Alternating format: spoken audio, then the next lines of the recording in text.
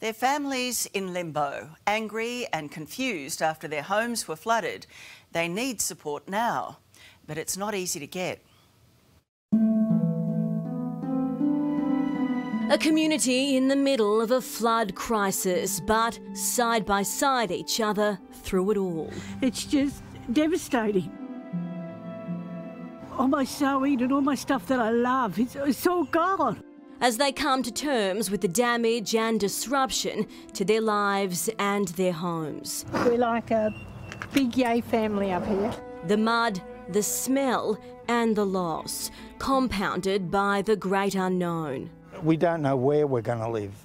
Roland Branch and his wife of 30 years, Roslyn, call a cabin in Yea's Riverside Caravan Park home, one and a half hours outside Melbourne. The park was swamped by water. The height that it got to um, was incredible. It, it just wasn't a natural disaster, it was a horrible disaster. The couple say they were given just 30 minutes' notice to evacuate and didn't have time to save their prized belongings. We were told half an hour, 10 minutes, and we had to move. She'll be right. At least we did the right thing. All right? Yeah, double right. All my jewellery and, and all the stuff I got from my mum years ago, that, they are all in there, and, you know, I've lost them all. At 70 and 67 years old, Roslyn and Roland's future has literally been washed away. Thanks to the local op shop, they have some clothes to wear. Oh, look at that. That fits lovely.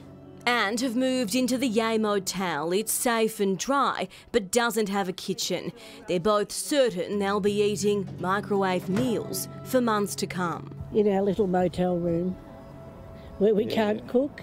We just have to have microwave meals and things like that. Their son Justin is in the same boat, as are nine others from the caravan park now living 24 7 at the local motel. I've literally walked through and just realised there is nothing left there for me. Helen Wheeler, one of many residents arriving at the park with gumboots in hand, expecting to find the worst. We're allowed in today to um, just see the damage, but we think you'll be all right. No, we think they, they, we think it's a write-off. Yeah.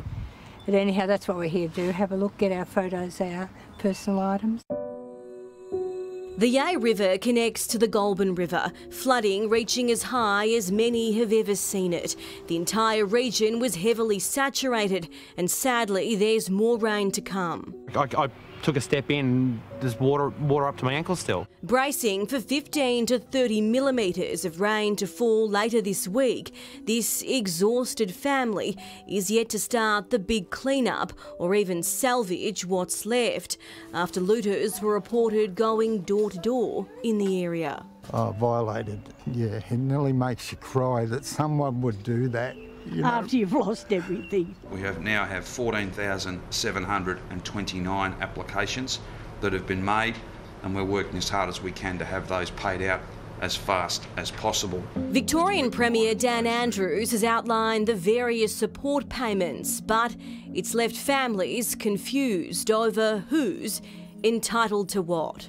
We just want a fair go, a fair go for everybody. This is this is not right. Everyone should be entitled to that money. They need it.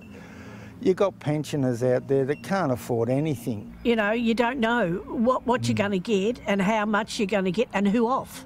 The couple applied for assistance payments to help them get through this rough period, but they're not entitled to all of what's on offer because of where they live. The payments are very confusing. They're telling us, no, we're not going to get it, but yes, the other people in different shires are going to get it, and we're not allowed it, and it, it's totally confusing.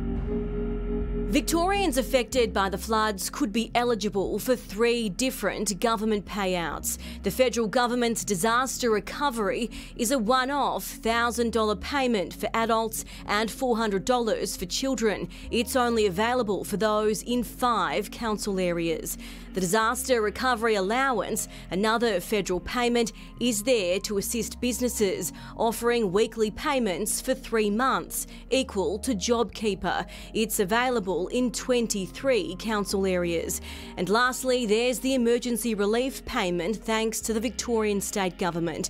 It's a one off payment of $580 per adult and $290 per child. The Emergency Re-establishment Assistance Fund uh, also provides support of up to $42,250 for families uh, whose properties have been hardest hit. The Branch family has been approved for $580 each, but they don't know when that money will arrive. If this rain comes like they're predicting and it floods again, I literally will not be able to come back to a place to live. I will literally be at the mercy of my mates and how long they're going to put up with me. Well, there's good news for Roslyn and Roland. Late today, the federal government added Murrindindi as well as nine more local government areas to the disaster recovery payment.